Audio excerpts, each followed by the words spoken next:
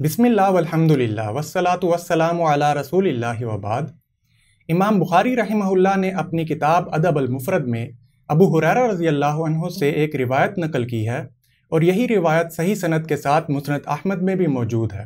ابو حریرہ رضی اللہ عنہ بیان کرتے ہیں کہ رسول اللہ صلی اللہ علیہ وسلم نے فرمایا، اذا سمیتم سیاحت دیا کتی من اللیلی جب تم رات کے وقت مرغوں کی بانگ سنو فص اللہ من فضلی تو اللہ سے اس کے فضل کا سوال کرو۔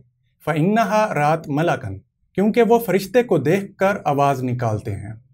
وَإِذَا سَمِعْتُمْ نُحَاقَ الْحَمِيرِ مِنَ اللَّيْلِ، اور جب تم رات کے وقت گدھوں کے رینکنے کی آواز سنو، فَتَعَوَّذُوا بِاللَّهِ مِنَ الشَّيْطَانِ، تو شیطان سے اللہ تعالیٰ کی پناہ طلب کرو۔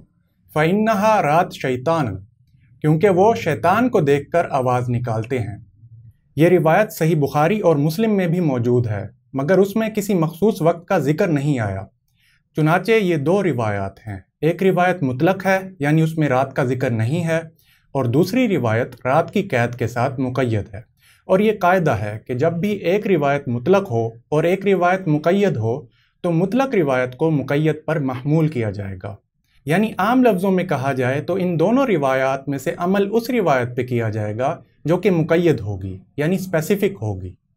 اسی لیے امام شوکانی رحمہ اللہ نے اس حدیث کے تعلق سے کہا کہ دوسری روایت میں رات کی قید آئی ہے۔ لہٰذا گدھے کے رینکنے پر رات کے وقت تو اعوذ باللہ پڑھا جائے گا، مگر دن کے وقت نہیں۔ اسی طرح حافظ ابن رجب رحمہ اللہ نے کہا کہ رات کے وقت گدھے کے رینکنے پر اعوذ باللہ پڑھا جاتا ہے۔ کیونکہ وہ شیطان کو دیکھ کر آواز نکالتا ہے۔ اور اس کی مزید تائید جابر رضی اللہ عنہ کی روایت سے ہوتی ہے، جس میں وہ بیان کرتے ہیں کہ رسول اللہ صلی اللہ علیہ وسلم نے فرمایا، جب تم رات کے وقت کتوں کا بھونکنا اور گدھوں کا رینکنا سنو تو اللہ سے پناہ مانگو، کیونکہ وہ ایسی چیزیں دیکھتے ہیں جنہیں تم نہیں دیکھتے۔ تو خلاصہ یہ ہے کہ جب رات کے وقت مرغ کی بانگ سنائی دے تو اللہ سے اس کے فضل کا سوال کریں۔ اور کہیں اللہ انی اسلو من فضل کا اے اللہ، میں تجھ سے تیرے فضل کا سوال کرتا ہوں، کیونکہ مرغا فرشتے کو دیکھ کر آواز نکالتا ہے۔ اور جب رات کے وقت گدھے کے رینکنے کی آواز سنائی دے، تو آؤزو باللہ من الشیطان الرجیم پڑھیں، کیونکہ وہ شیطان کو دیکھ کر آواز نکالتا ہے۔